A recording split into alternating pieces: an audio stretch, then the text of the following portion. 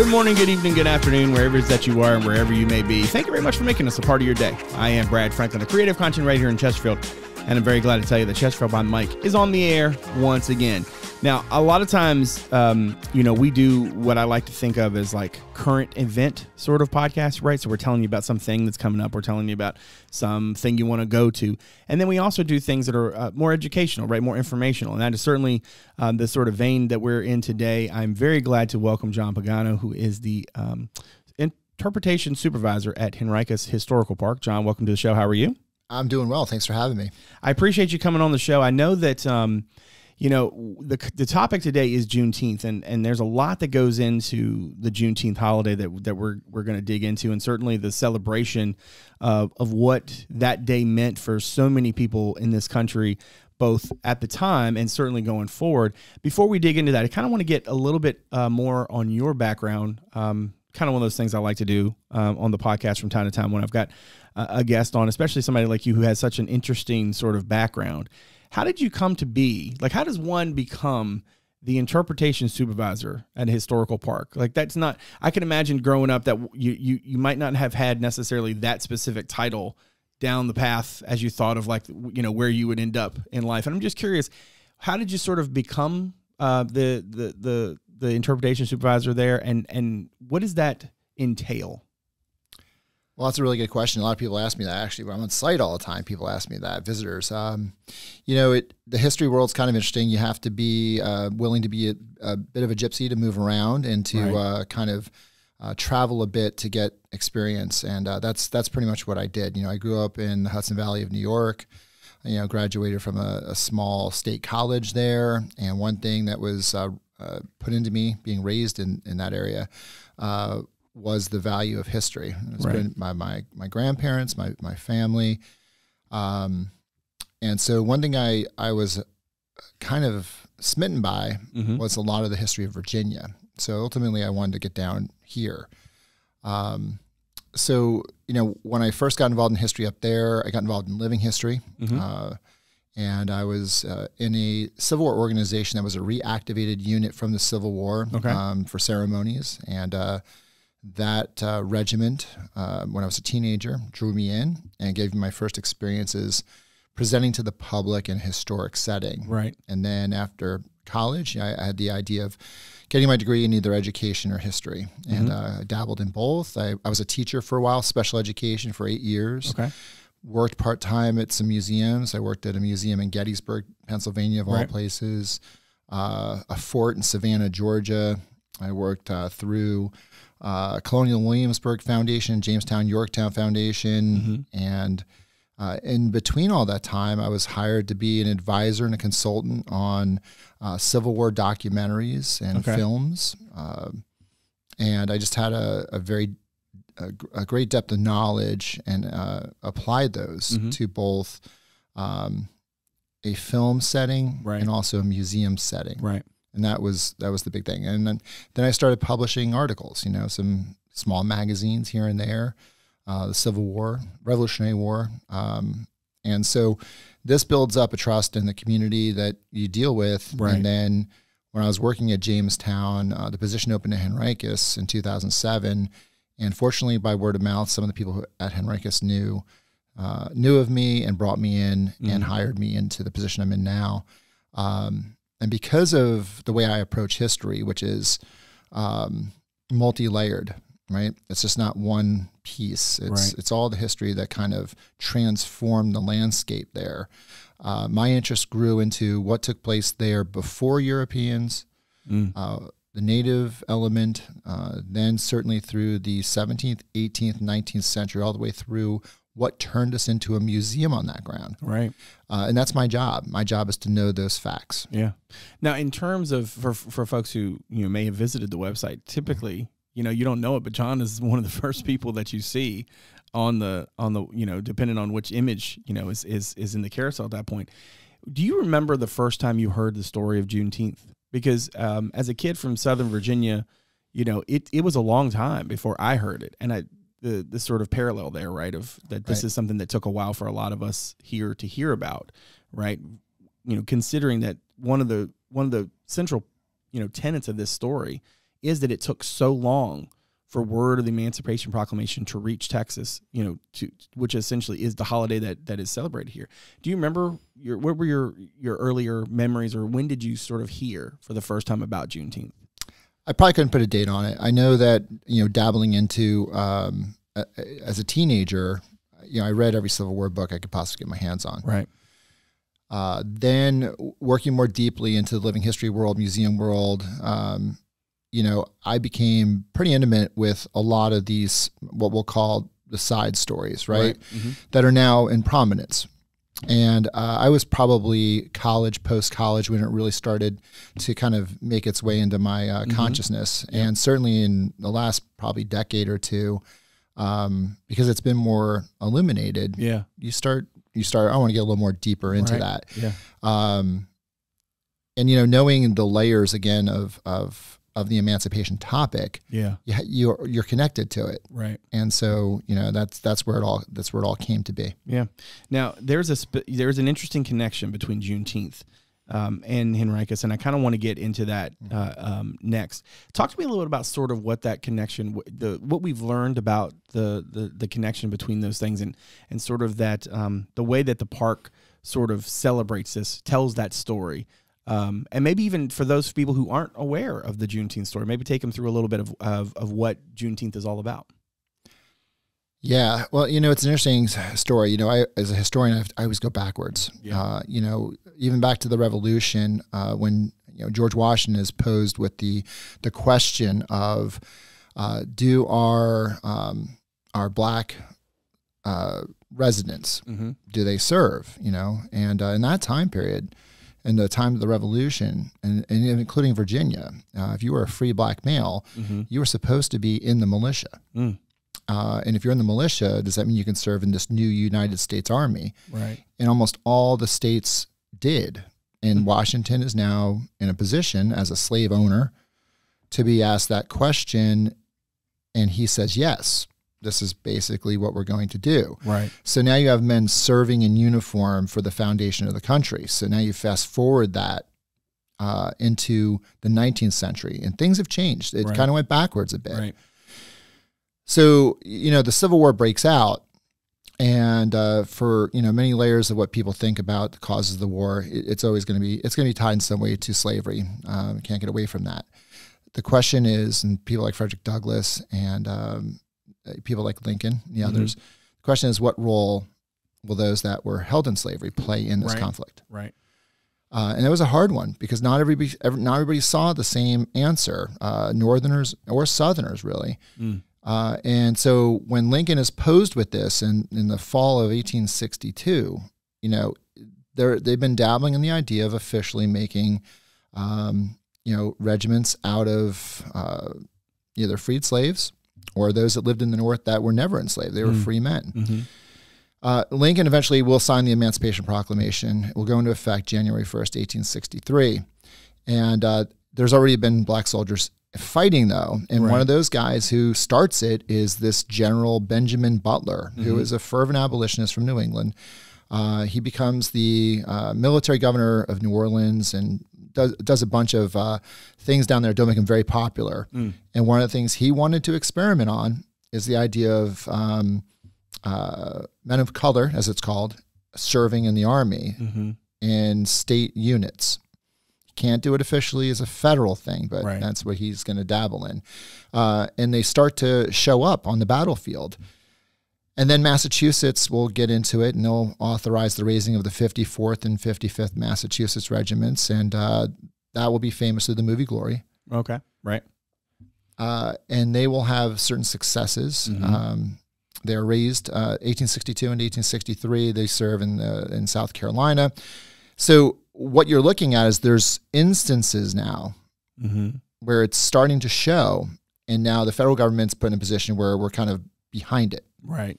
Right. And finally, it gets authorized. Uh, Lincoln uh, finally gets the Emancipation Proclamation to effect January 1st, 63, which says basically that if you are a slave in rebel territory, helping the rebel war effort, you're in, this is in rebellion, uh, then you are to be basically treated as a part of the war and because you're helping the war, you're going to be freed from that. Right.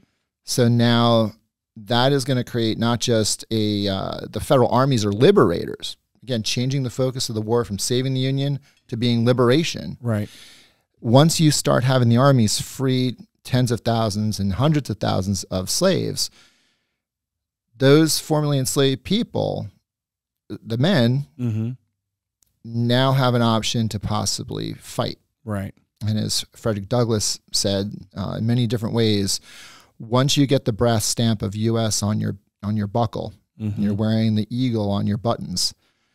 Uh, there is no force on earth that can keep you from citizenship. Right. So now it's not just freedom; Right. it's the question of citizenship, and, Right. and and so that that becomes big. So now what you have is a lot of these formerly enslaved people have layers of what they're fighting for: freedom of themselves, finding a freedom of their families, and Mm-hmm. now it's becoming forging and saving this new union. Right. And then in terms of the, um, you know, I know you guys, you, you do have a lot of different, um, you know, education aspects of, of what you do. You, there's obviously a, a certain component of the different um, sort of exhibits that are open uh, at different times. One of them, obviously, is the um, those forgotten soldiers of That's right. Juneteenth. Talk to me a little about sort of the, um, I think it's the 116th Mm-hmm. um, U.S. colored troops of Dutch Gap Canal from 64 to 65. Tell me a little bit more about that group. Yeah, so really history is catching up with us at our site. Um, Gen- General Benjamin Butler, again, fervent abolitionist, he's the commander of the Army of the James, whose army will be assigned by the War Department to kind of come and take the back door to Richmond, cooperating with General Grant's armies north of Richmond. Butler basically is a is a safe zone and a supporter of these newly raised United States color troops. Remember, the federal government now is authorizing these Right. troops, uh, and there's a lot of them. Mm-hmm. And some generals in the Union Army are not too jazzed about that because some of their men aren't sure they want to serve with these guys. Well, Butler's like, I'll take them Right. and he does. Uh, the 116th uh, United States Color Troop is raised from formerly enslaved men in Kentucky, Okay. And they are raised uh, there, uh, and they're raised and then sent to the literally to the front within months. Uh, the 116th comes to Dutch Gap Canal uh, to be assigned to work on General Butler's military canal taking place there, which is Henricus Historical Park Right. uh, there's a problem, and it shows up. General uh, William Birney, who's one of the uh, federal commanders, says, "Look, I, I, some of these guys who are, you know, just literally coming out of the fields, former slaves, a lot of them first sergeants and start they they're illiterate. Mm-hmm. How can they do their military performances? And so, what you have is organizations with the Army, like the U.S. Christian Commission, the U.S. Sanitary Commission, but the Christian Commission." Uh, comes to Butler's army, and one of their jobs is to educate these soldiers. Right. So now you have schools being set up in these camps. Right. So they're getting schooling in military, schooling how to read and write. All these things are taking place, but they're also under fire. And at Dutch Gap Canal, they are going to be put to the test. Mm-hmm. Um, so it'll be uh, Colonel William Woodward's uh, 116th USCT that have a lot of the responsibilities there, specifically Captain uh, Thomas O'Reilly's Company C, who will be the garrison there for several months. Um, and what they have to do is protect the guys working there Right. and dig, you know, tens of thousands of cubic, you know, uh, yards of dirt out of that canal. Right. And the Rebs, it's a sitting target because they Right. know exactly where they Where are. they're going to be. Right. Yep. So those guys are there, you know, doing service, and then at the end of that service, the canal, you know, is done. Um, they they did some really interesting military acts there, uh, but then they're being asked by Colonel William Woodward, who's now brigade commander, "Hey, 116th, you proved yourself, Mm-hmm. and I'm going to give you a special uh, treat on this last campaign." Uh, you and a few others are going to be marching with me, chasing down General Lee's army to Appomattox. Mm-hmm. And so the 116th goes from Dutch Gap Canal on the march, the last fighting days, and are under fire the last moments at Appomattox. Huh. There to see Lee's army surrender in some Right. ways. Uh, and from there, they march back, and now they're going to be training.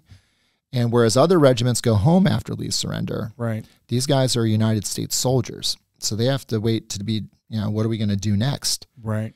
And so they're uh, put on transports at City Point in May. Uh, and then by June, they're on their way to Texas to guard the U.S. Mexican border. Right. Uh, but also there to, if there's any last uh, rebel, you know, armies, they're going to go after them. Right. By the time they get there, that's fizzled out. So Mhm. all they're going to be doing is now uh, watching the border. Right. But they pass through Galveston, Texas, on the their camp there Mm-hmm. and set up there on June 19th, which is the day. Yeah. So they're there when the federal garrison commander of Galveston is announcing and, and publishing Right. this order of emancipation. Those guys are there to show uh, the black population of that community that's not just white soldiers now. Right. It is us as part of this new country Right. that you're going to be a part of, and now you're free. Yeah. It must have been huge for Yeah. those people to see that. Yeah. Um, so they are they are tied to that moment at Galveston and Juneteenth, Yeah. and where they start. Most of them it was Kentucky, maybe from Mhm. somewhere else, passing through Virginia, fighting uh, in this war, and then they're serving till 1866 uh, along that Mexican border. Yeah. You've got a couple of images um, here Yeah. with us. And now, for those of you who are watching the show, you'll see these on the screen. But, John, I want you to kind of describe to me what we're looking at. Um, and then sort of talk me through sort of what we what we do know about the images um, that you, that you're going to uh, talk about today. Yeah, what's really cool about uh, this story of Dutch Gap Canal, General Butler. General Butler was a hugely influential influential man. Uh, so a lot of the press up north were following what he does. Uh, he's controversial, uh, and he's got friends a lot of places. So the cameras, which you know are fairly new on the eve of the Civil War, but now they're just springing up everywhere on the battlefields, and uh, so there's some Civil War photography that comes to Dutch Gap Canal, and one of the most heavily photographed group of soldiers will be the 116th uh, USCTs, specifically Company C, that's there for the whole time. And the images that we have are depicting up close some of those soldiers. Uh, there's one in particular that shows a sergeant and a private outside this dugout. They all lived at Dutch Gap Canal. If you're there, you live underground Right. because you're always under artillery fire Right. very reminiscent of World War One, right? Uh, so here's these guys sitting outside this uh, bomb-proof, as they're called, just between duty.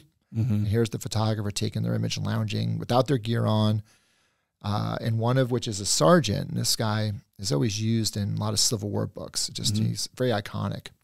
Uh, the other image we have are just this other group of soldiers uh, passing through the two local plantations that are adjacent to Dutch Gap Canal, Cox's and uh, Aiken's. Right. And these guys, you can just look at them and just go, those guys look like veterans. They are Mhm. veterans by this point. They've seen a lot of They- action. They've seen a lot of action, and they're just passing between. A lot of these guys didn't mind going to do labor at Dutch Gap Canal because it pulls them off the trenches uh, in in uh, Henrico County is where a lot of them were. And okay, pretty easy service. Occasionally, some artillery shells come in, but to them, that's not too bad. Right. Yeah. Um, so we use those images. Uh, there's there's probably a dozen we're using. We're gonna put those on exhibit, and it really shows their faces, right? Mhm. Like these are guys that were mostly, um, you know, enslaved people in Kentucky, and now they he- are here winning a war, and eventually will show up in Galveston as part of that emancipation force. Um, and we want to show who they are. We might not know exactly their names. We can't put all their names onto Right. the picture Yeah. but we know what unit they are. Yeah. We know where they're from, and we know in the outcome what happened to them. Yeah. Uh, so we want to illuminate that. That's part of our story at Henricus and uh, certainly Dutch Gap Canal. Yeah. Um, last couple things for you. First off, I, we were talking a little bit before about sort of looking at you know looking at the images and some of the things that we can sort of learn about the the soldiers who are who are pictured. And I'm just curious, what can we, what can we kind of draw about maybe what their um, what their experience was like? Um, you mentioned specifically, um, and and I hope my director Martin will put this one on the screen for those of you who are, who are watching. Um, but there's this there's this one image of of of the I guess this multi-starred uh, piece of what we assume is cloth, and we don't really know much about that. This is I guess a very rare sort of um, accessory, so to speak, right? Um, talk to me about just a little about what that tells us both about this soldier, but also just sort of the idea of of history in general because it seems like this is a this is a thing that even we look back now and, and look 1860s was not that long ago. It feels a little bit longer now for some of us than maybe it did you know in the in the 80s or 90s right? But it wasn't that long ago and this is a piece of history that that is both is interesting in and of itself to know more about what this what their experiences were like but then too this this thing that's lost to time in a lot of ways. That's right. Uh, the image uh, is going to be a sergeant in the 116th USCTs. Uh, we we know of three or four sergeants this guy might actually be. Right. Not exactly sure which one. By his age, it might be a certain guy versus another. Uh, but when you look at his clothes, you know he's a veteran. The way he wears his stuff, the way he just, you know, just it's there. So when we looked at that star on yeah. his coat, you know, we were talking earlier. It almost reminds you like uh, the guys in Vietnam who had the peace sign on their helmets. Right. This, like this is not issued to him. Right. This uh, is something that is specific to him, something to him. that he cares about, something that That's speaks right. to him, that he has decided he wanted to carry with him. That's right. And if you do, and again, I'm going to leave this to other experts, right. you know, in the culture. These guys, most of them are are very spiritual, very religious. Right. That star apparently has some of those connections. And again, I don't want to speak without the authority to, yeah. to that star, mm-hmm. but I bet you there's people that are out there who focus on religious, uh, you know, icons, and yep. say. Yep and we'll be able to look at that and go, oh, I think I have that idea. Right. So we're we're really curious of our public if you can help us identify why he would be wearing that as a soldier yeah. at the front in 1864 1865 yep and then you know we don't know for sure that that that this specific soldier or that specific soldier made it all the way to galveston that they were there but we know that that regiment was that that group of soldiers was and sort of the backdrop if you think about what that message must have meant to the enslaved there to finally hear that good news, right? That forever. You know, imagine waiting two years, you know, for something to to trickle its way on, for it to finally to reach you, and for this this group of soldiers to sort of be part of the of the um, of the backdrop that sort of shows um, to kind of gives credence to it. Like, not only are you hearing this thing that's real, but here are, you know, black soldiers who are here to sort of emphasize, right? I, I, I mm-hmm. can't imagine what that must have been like um, for those, you know, who were enslaved to hear and then to see just all of, you know, all of it there, you know, right in, in, in living color, finally, that, that word to, to finally reach them. Yeah, Texas, you know, was a was a big place, uh, and actually one half of Texas uh, by that point in 1865 uh, there were still Confederate forces in the field there yeah. that were substantial. Uh, it's a big state. Uh, so, you know, when those guys do come there, and the other thing to keep in mind is that if you have this idea of like, you know, who might be my heroes, right? You know, and and certainly in conflicts and soldiers in our past, people they have heroes. You know, might not be everybody's heroes, but these might be yours. These guys would have been that for that community right. around Galveston. And specifically, think about this: what they their bragging rights when they come to Galveston. The, most of the troops that were in Galveston had served in the West. Mm-hmm. Um, they weren't in the East serving uh, in Virginia. Those were Western soldiers. These guys are Eastern soldiers who had, by the way, helped bag Robert E. Lee in the Army of Northern Virginia. Right. And they probably stepped off those transports onto the wharf at Galveston into town. And when anyone's like, who are those guys? Those yeah. guys were probably like, yeah, we helped bag, you know, yeah. Robert E. Lee. Right. I mean, and if you think about it, you know, obviously they're going to be several, you know, kind of seminal moments, you know, in any sort of conflict. In this one, you know, the first shots fired, the the uh, surrender, and then Juneteenth. I mean, right. they were there for two of them. I mean, and I'm not, you know, I'm mm-hmm. not going to sit here and try to pretend like I'm some sort of Civil right. War um, um, expert or anything like that. But it certainly, and it certainly makes sense to me that there were other moments along the way of the war that were, you know, pivotal kind of moments in, in the conflict.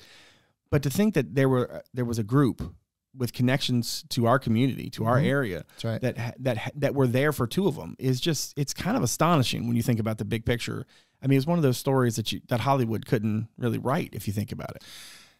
Yes, and you know, in Dutch Gap Canal is one of those uh, moments that's uh, the a stereotype of what a lot of those doubters remember even though they the federal government was going to authorize this there was still a lot of northerners influential northerners uh, who were of the mind that well all right but you know we'll just give them shovels and let them build forts and that'll Right. be it Yeah. okay they'll earn their their monthly rate there had to have been people in the military who wanted to see more than that and butler who just happened to be here in Chesterfield and also across in Henrico. His army was across Right. both counties. Right. Who decided I'm going to show everyone that Mhm. these guys can do it. Mm-hmm. And uh, you know, sometimes it didn't work out. You know, the Battle of the Crater at Petersburg Mm. was not the best example, and it was not the fault of those USCT regiments. They weren't trained for the part they were playing in that, and that's a, that's another part of history. These guys at the canal Mm-hmm. are probably like, man, you know, this is kind of what was expected of us. Right. But, you know, their commander on one particular night, this is a huge moment probably in their history, uh, December 17th, 1864, when the canal canal's almost done. The Rebs kind of were curious, you know, what's going on over there. And uh, they pushed really close on what's now our Dutch Gap Conservation Area. It's historically called Farrar's Island. Mhm. Uh, and Captain uh, Thomas O'Reilly is now their major. He's commanding the, the garrison there. He decides to take these guys in a midnight raid on Confederate positions Mm-hmm. And drives those Rebs all the way back across Farrar's Island, all the way to the James River, and gets them in, uh, to the point of capturing their pontoon that was crossing the river. Mm. And it must have been huge for these guys to launch that attack. Mhm. Were successful. Right. And then a month later, here comes the Confederate James River Squadron around Farrar's Island looking to attack Grant's headquarters at City Point. Mm-hmm. Well, these guys are there on the shore, and here comes this uh, flotilla, Mm-hmm. and they're putting thousands of rounds at that flotilla, and they're a part of that defeat. Yeah. And then you get through the spring, and now they're a part of the Appomattox Yeah. campaign. Now, so yeah, you're right. Like these guys evolved Mhm. into wanting, you know, to, to fulfill what Butler was going to promise, and some others were going to promise. Yep. Uh, Frederick Douglass's vision. Um, you remember Frederick Douglass's son was serving as a as a soldier, Right. Right. Um, so you have all this going on, and here these guys are are proving. What's funny enough, guys like back in George Washington's year in the Revolution, they already knew these guys could fight just as good as anybody, Yeah. and here they are at this key moment. Yeah, Yep. it's it's it's really it's uh it's it's heartwarming Yeah. to think about that. It absolutely is. Well, John, thank you very much for coming on the show, talking to us about the the connections between Juneteenth and Chesterfield and Henricus. I really appreciate you coming on. Oh, thanks for having me. All right. Now, make sure you check us out on social media. On Twitter, it's at Chesterfield VA, and on Instagram, it's Chesterfield Virginia, all one word. And on Facebook, you can check out our podcast page. Just search Chesterfield Behind the Mic. Now, make sure to follow or subscribe to the podcast on Apple Podcasts, Spotify, Google Podcasts, Overcast, or wherever it is that you get your shows. And if you'd like to give us a rating or review, we'd greatly appreciate it. As always, a video version of the show is available on our YouTube channel as well as on our website, chesterfield.gov slash podcast. There's also uh, a place there where you can submit any feedback anytime, make suggestions, or just reach out to us. You can watch the show on WCCT Thursday through Sunday at 7 on the weekends at noon. That's Comcast Channel 98 and Verizon Channel 28. Lastly, you can check out chesterfield.gov slash connect with us to find out a number of ways for you to get in touch with us, for us to get in touch with you. My thanks to my director, Martin Stith, my executive producer, Teresa Bonifas, and all the good folks from Constituent Media Services here for all that they do. And my thanks to you for joining us today. So, from all of us here in Chesterfield, thanks again for making us part of your day. We'll see you again real soon. Take good care.